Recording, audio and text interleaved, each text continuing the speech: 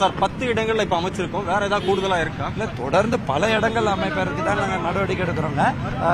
மெயினாக இது வந்து சென்னையில் எல்லாரும் கேட்டாங்க ஏன் கொஞ்சம் டிலே பண்றோம்னா இது கம்ப்ளீட்டாக பாக்ஸ் போட்டு அதே மாதிரி மைல் ஸ்டீல் போட்டு தான் பண்ண வேண்டிய கட்டாயம். அஞ்சாறு அடி ஐஆர்சி கைட்லைன் எல்லாம் ஃபாலோ பண்ணணும் பெரிய வாகனங்கள் சென்னையில் வரும். எல்லாம் பார்த்து பண்ணியிருக்கோம் தொடர்ந்து பண்ணுவோம். இது எல்லா பத்திரிகையாளர் சந்திப்பு டீட்டெயிலாக நான் சொல்றேன். அதாவது நிறைய பைக் ஓட்டுறவங்க என்ன சொல்றாங்க? இந்த பக்கம் போட்டிருக்கீங்க மறுபக்கம் போடல நாங்கெல்லாம் வெயில்ல காயிறமே. இல்ல இல்ல அது படிப்படியாக ஏன்னா காவல்துறையோட ஏன்னா இது கட்டும் போதும் நம்ம ட்ரென்னை டிராஃபிக் அதிகமாக இருக்குங்க ஒவ்வொரு தரமும் காவல்துறை ஒப்புதலோட பண்ணுவோம்.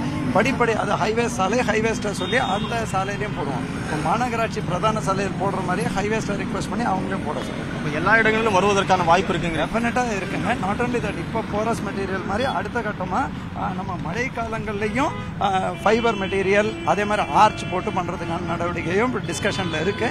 நம்ம இன்ஜினியர்ஸோட பேசி தான் சென்னையில் மட்டும் நம்ம சும்மா சினிமா செட் மாதிரி டக்குன்னு எடுக்கக்கூடிய மாதிரி போட முடியாது. ப்ராப்பர் ஃபவுண்டேஷன் கொடுத்து போலீஸ் பர்மிஷனோட பெரிய வாகனங்களுக்கு தடுப்பு இல்லாமல் அனைத்து பாதுகாப்போடு பண்ணணும் அதனால தான் கொஞ்சம் லேட்டானா கூட படிப்படியாக அனைத்து இடங்கள்லையும் இது விரிவுபடுத்தப்படும். அப்ப வெயில் மட்டும் இல்ல மழையில இருந்தும் பாதுகாப்புறதுக்கான முயற்சி. இது இவ்வளோ சக்ஸஸாக வந்ததுனால இது போரஸ் மெட்டீரியலுங்க மழை காலங்களில் ஃபைபர் மெட்டீரியல்னு டிஸ்கஷன் போயிட்டு இருக்கு அதையும் அந்த நேரத்தில் போடும்போது பொதுமக்களுக்கு பாதுகாப்பாக இருக்கிறதுக்கும் நடவடிக்கை எடுக்கணும்